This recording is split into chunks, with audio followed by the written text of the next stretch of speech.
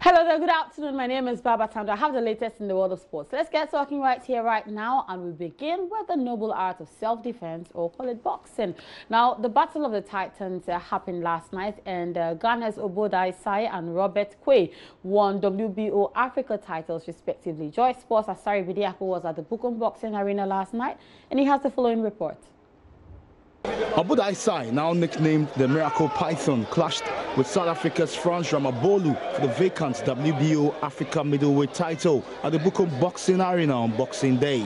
With his record of 34 wins and 3 losses, Obodai Sai picked up the pieces from a disappointing loss last year to Walter Kautondokwa and has since recorded two straight technical knockout wins. Sai returned to a place he has previously been as he annexed the same belt in 2006 after defeating Idrissa Kabori of Burkina Faso via a technical knockout. And at last night's Battle of the Titans, the Accra-born boxer did not disappoint as he won the bout by a unanimous decision.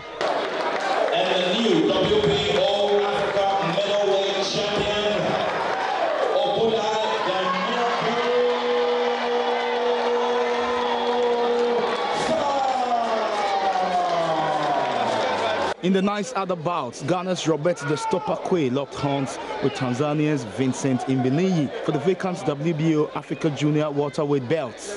Mbilinyi looked forward to causing an upset in Ghana, but Robert Quaye was too strong for him. Prior to the bout, the Tanzanian had lost just once in 14 fights, but the talented Ghanaian boxer made light work of him. The bout did not go beyond round one.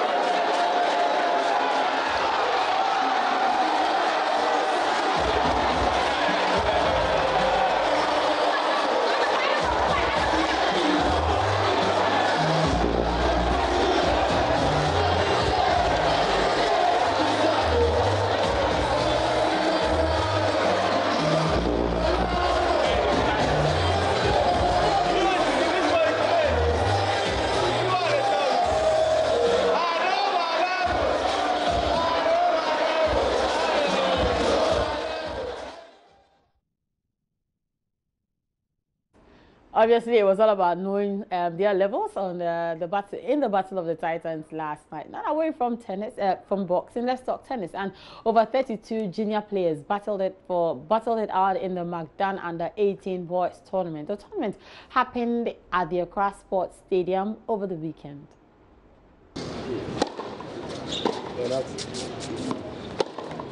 Yeah, Reginald Okante produced breathtaking tennis to emerge winner of the 2018 McDan Under 18 tournament. It was a fiercely contested finals involving two talented tennis players, but it was Okante who secured victory after three sets. He won 6-2, 3-6, 6-3.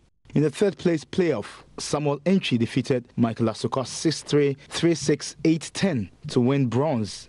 Dr. Daniel McKorley is Chief Executive Officer of McDan Group, headline sponsors of the Under 18 tennis tournament. Well, for me, there's a big difference in what they play. I can see improvement.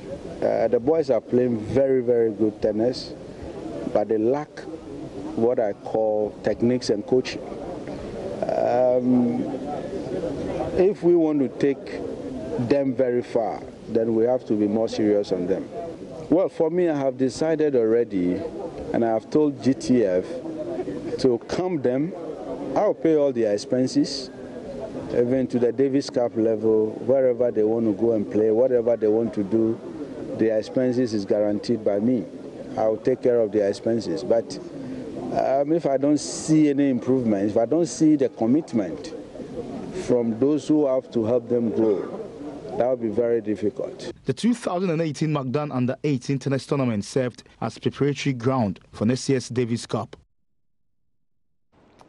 All right, so that'll be it for sports, but you can check out more on the sports page at myjoyonline.com. My Twitter the handle at Baba Tando. Same for Instagram. Good afternoon.